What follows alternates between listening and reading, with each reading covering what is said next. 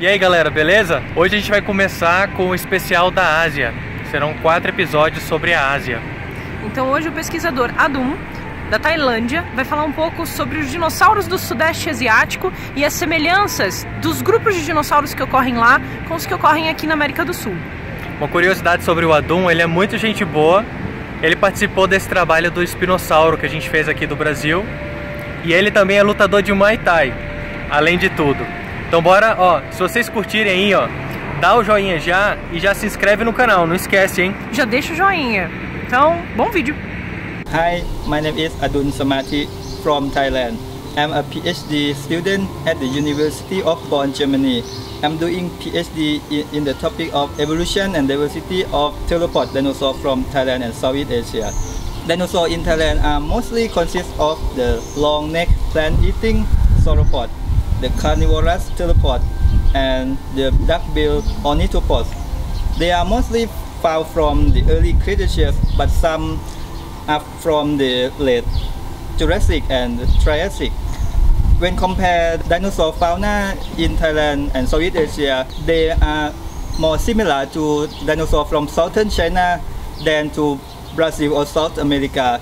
But some some group of dinosaurs like sauropod group named Titanosaur and theropod named Spinosaurus or, or fish eating crocodile like Spinosaurus.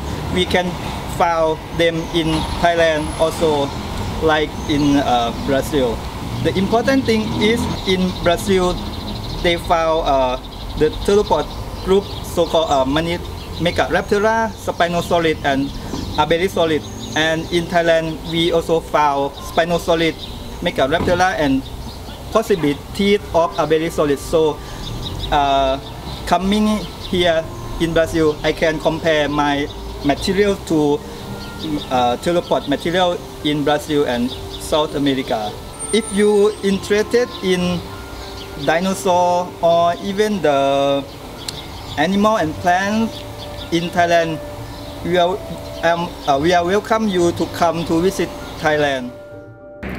A paleontologia do Sudeste Asiático ainda está bombando e muita gente quer pesquisar e entender melhor os animais que existiam nessa área. Tem um tipo de espinossauro que é o Ichthyovenator, que é dessa região do, entre Laos e Tailândia, pode ajudar a gente a compreender melhor a evolução desse grupo também.